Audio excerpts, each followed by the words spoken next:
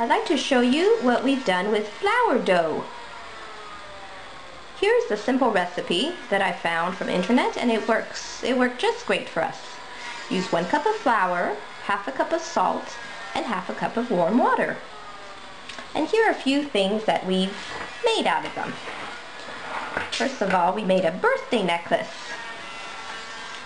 So you make with the dough the different shapes of the letters that you'll need and we shape them, we let them dry in the sun for a little while, and then we bake them on very low heat for about half an hour, and it worked just great.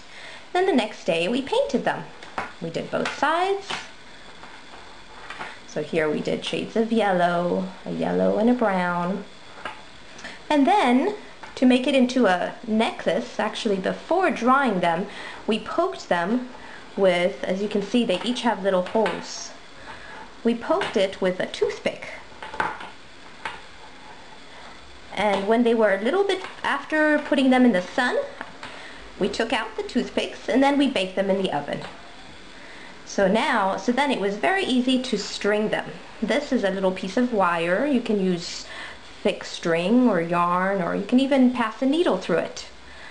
But this was easier for us. And to make it even prettier, we put a little bead in between each of the letters. And that makes a beautiful little necklace gift for a friend or somebody in the family. So this Adina made for her auntie.